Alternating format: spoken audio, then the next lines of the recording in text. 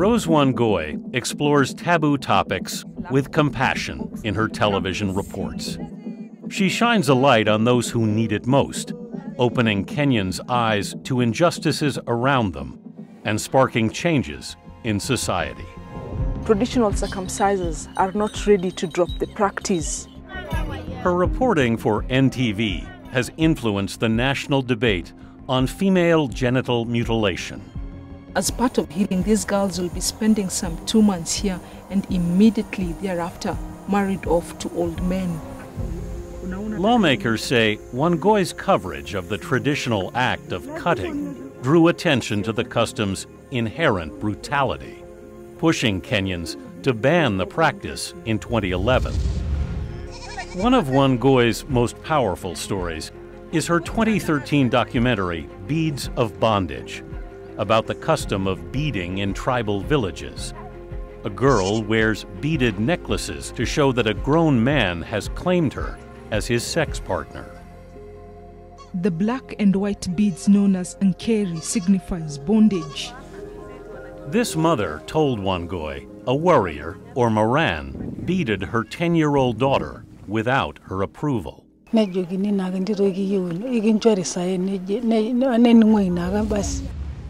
A beaded girl is in a cruel trap. She must be available for the warrior, but is forbidden from marrying him or having his children. Tribal women demonstrated what they do when a beaded girl gets pregnant, a crude form of abortion. This woman told Wangui she wouldn't wish the experience on anyone.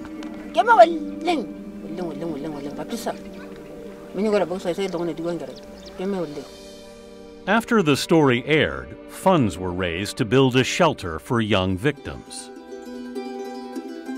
Wangui grew up in Nairobi, the youngest of five children in a devout Catholic family.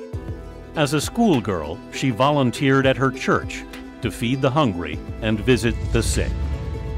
Her desire to help humanity led to her career in journalism. Her two-part series, Slavery in the Gulf, shed light on the abuse and, in some cases, murder of Kenyan women who traveled to Saudi Arabia to work as domestic servants.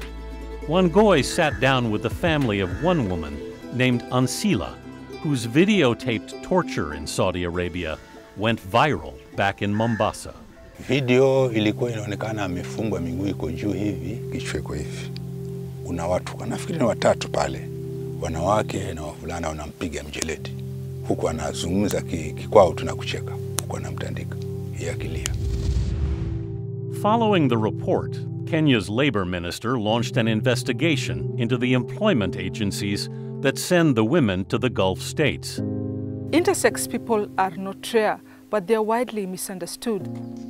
Wangui also addresses issues others don't dare to explore. Her 2018 story, Born in Between, highlighted the challenges Kenyans face if they're born with both male and female reproductive traits. Sami, ma, saa zingine naona wasichana wenye tunasoma na wao nasikia kugrow, yani kiusichana eh. After her report aired, a government task force asked Wangui for her insights and relied on her story to develop policies to protect the rights of intersex people. Wangui takes a particular interest in the plight of children. In her eight-part series, A Second Chance, she profiled disadvantaged children, including baby Faith, who was found alive after being dumped in a bag as a newborn. Wangui documented Faith's progress year after year as she flourished at the Good Samaritan Children's Home in Nairobi. My name is Faith Wangechi. My favorite subject is English and math. When I grow up, I would like to be a teacher. Wangui had a personal interest in the story. She has paid school fees for 25 underprivileged children. I felt I had an obligation to do more. Rose Wangui remains committed to telling stories that cast light on the dark corners of Kenyan society. She plans to continue her compassionate reporting in the hopes of improving as many lives as possible. I want to shed light on the untold stories because we must change society one story at a time.